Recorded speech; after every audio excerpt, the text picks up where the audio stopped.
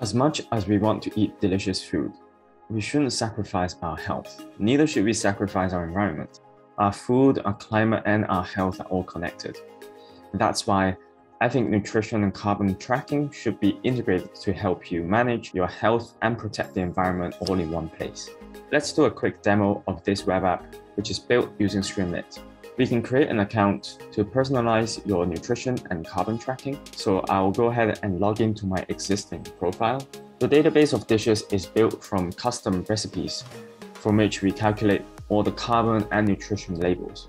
Let's add a few dishes now to see uh, what we have. The amount defaults to the typical serving size when we choose a dish. So after selecting all the food in this meal, we can go ahead and click submit.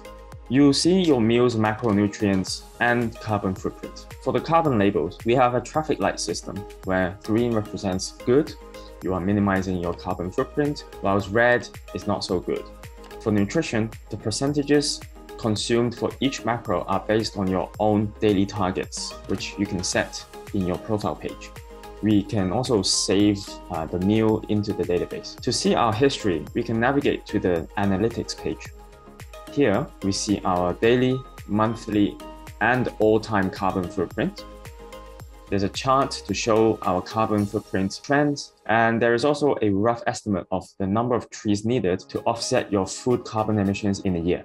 If we scroll down a little bit more, we also see our calories and macros today, and followed by our calories and macro trends. Finally, we also see a average macro split across all the meals that we have eaten. So what do you think? Should carbon and nutrition tracking be more widespread to raise awareness about our health and climate? Let me know in the comments below.